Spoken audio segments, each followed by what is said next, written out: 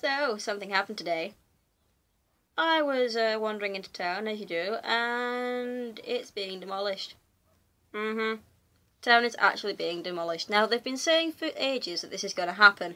And when you roll into town, you park up your bike, you're all like, yeah, man, it's fine. And then you see two great big metal machines tearing the crap out of this concrete bridge that has been there forever. And you just see cables chilling around everywhere, and you sat there going, oh god, it looks like the abandoned warehouse from Ghost in the Shell. In Barnsley. This is happening right now. Oh my god, they're eating it.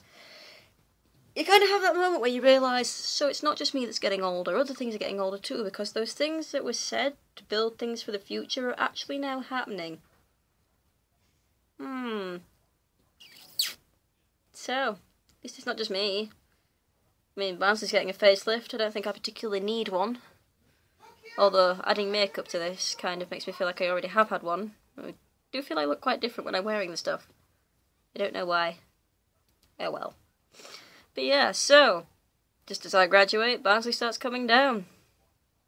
Great big eating metal machines.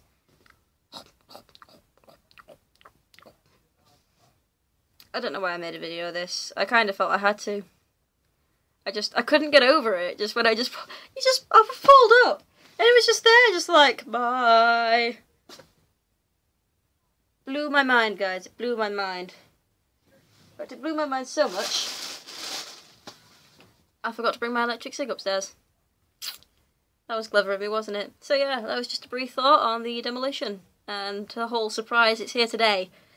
I wasn't expecting it here today. Mm-mm. Nah. But still, it's there. And that's all for now.